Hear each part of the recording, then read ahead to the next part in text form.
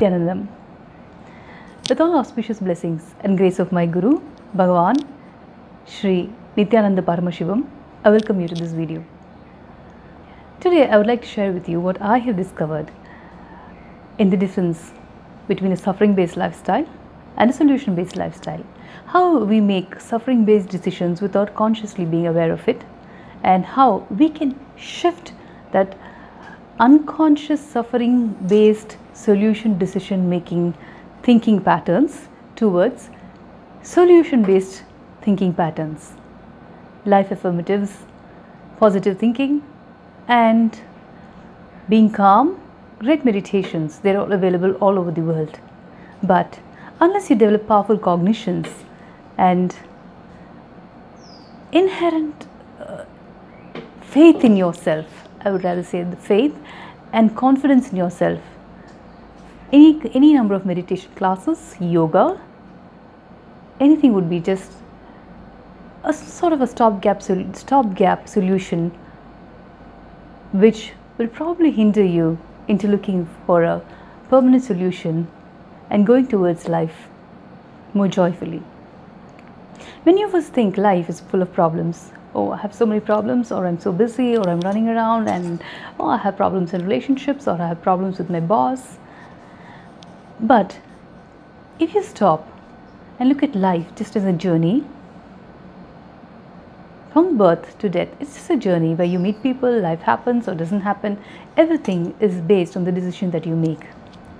If you look at life like that, without the cognition that, oh, this is good, this is bad, this is evil, oh, I'm always suffering, or oh, I'm born to suffer, oh, it's my karma to suffer.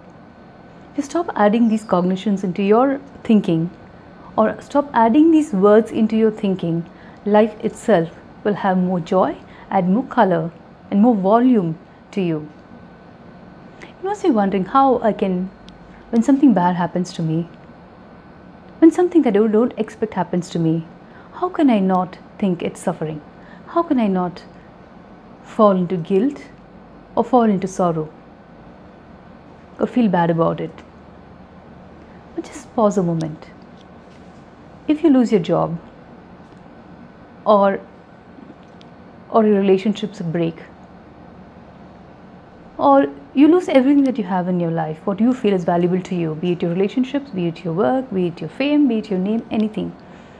When you lose everything, which is going to make you move towards life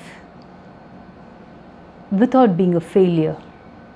Is it feeling sad, feeling sorrowful, oh, I have lost everything and I worked so hard, or this person betrayed me, or I have to be very careful, I'm going to be having friends who are going to probably be betraying me or looking at everybody suspiciously and forever carrying the suffering of failure. Is that going to make you feel better in every decisions that you take? Or you stop, pause, no, suffering is not what I'm born for. I'm going to look at life only as a solution based lifestyle. Yes, I've been betrayed by friends. Yes, life has given me something I'm not expecting yes, this is not the way I have planned my life. Or I'm at the tottering age and I had so much of wealth, but right now I don't have anything, I don't have anybody, no friends, no money to look after me. What am I going to do? Am I going to just sit and cry? Is that going to give me the life that I want? Is that going to make me feel better? Or saying, yes, this is the situation. I am in my life, I don't have friends, all my wealth has been taken away, I'm just on the roads. Now, how can I restart my life? How can I begin this adventure of my life and continue going on till I die joyfully, based and with full confidence on the decisions that you make? Mostly, what happens in life I have seen is when few of the decisions that we make lead to failure, as we look at, we start hesitating to make decisions or we start thinking all our decisions will probably end in failure and the confidence about what we believe in, what we want to live for, starts eroding. And with the erosion, a lot of virus, a lot of negative thinking starts falling into place. Instead of attending to the virus or cleaning the virus inside and healing the erosion and re strengthening your thought processes and the confidence in the way you want your life to be, we start believing that, oh, anything I do may not work out. We start thinking with that, or we start with, oh, I do hope it works out. At one point of time, when we would have started any new initiative with, I'm very sure this is going to work out, I'm 100% sure this is going to be the most successful project in life. I have made it for life. From there, over the years, sometimes we become like, oh, I do hope it happens. This thinking gap that comes is called self doubt. And this self doubt penetrates into your very being. If you, st- if you do not stop looking at life from a solution based aspect. In Sanskrit, we have two beautiful words called Shrishti and Drishti. Drishti, sorry. Shrishti is meaning what you can create.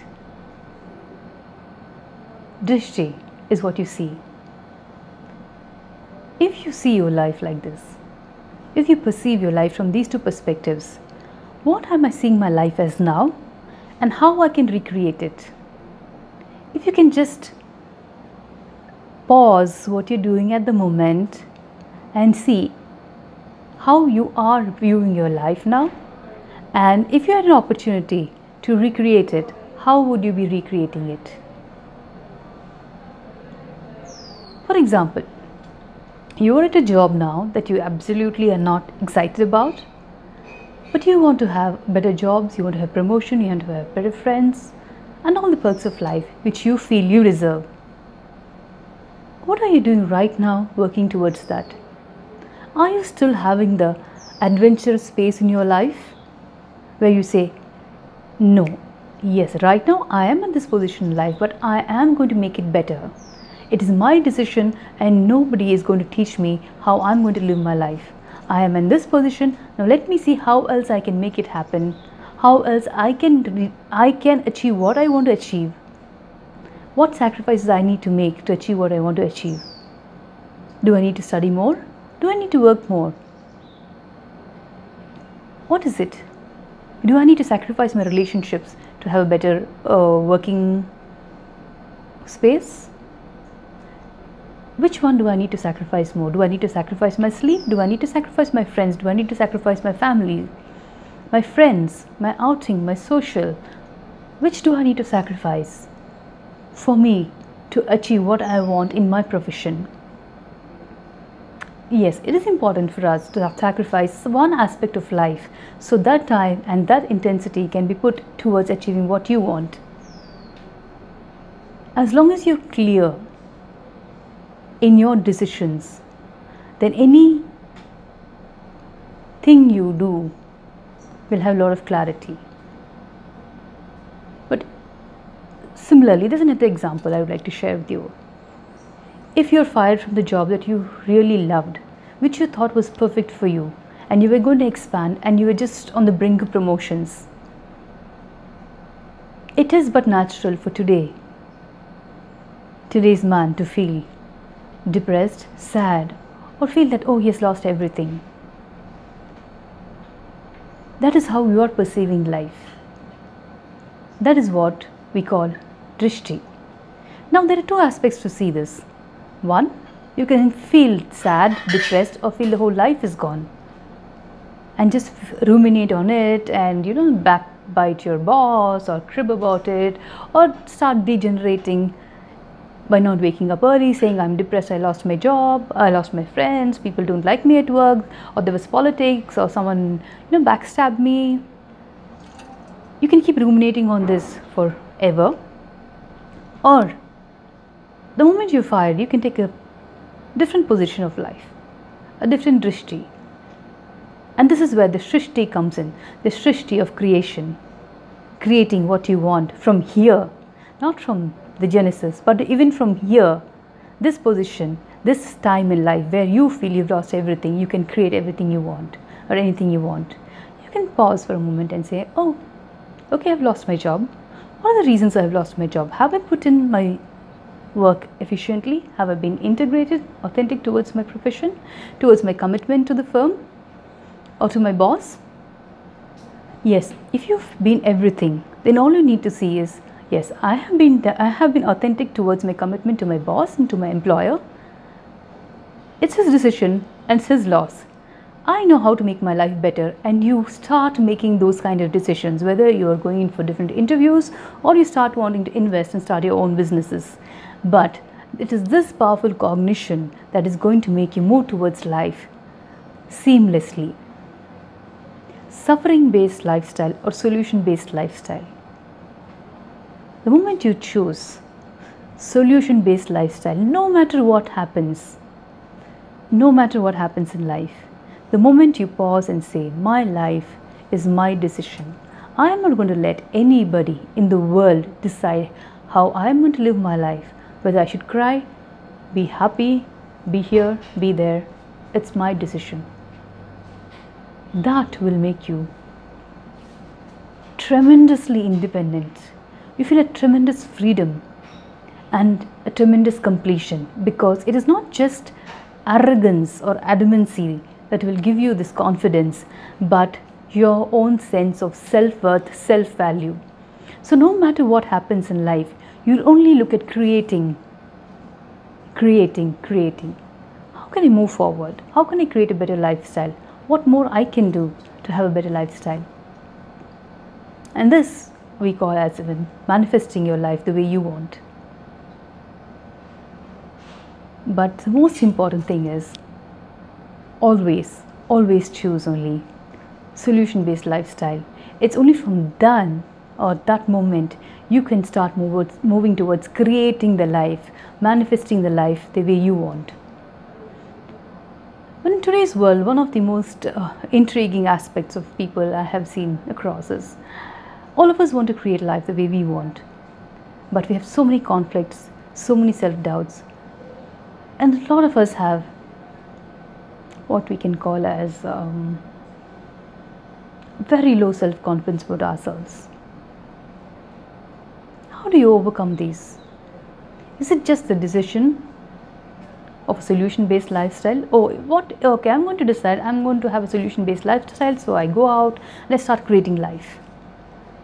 But then every moment that I face people or decisions that I take, how do I know they are the decisions that are the right decisions that will not lead me to more suffering, more problems. How do I know that?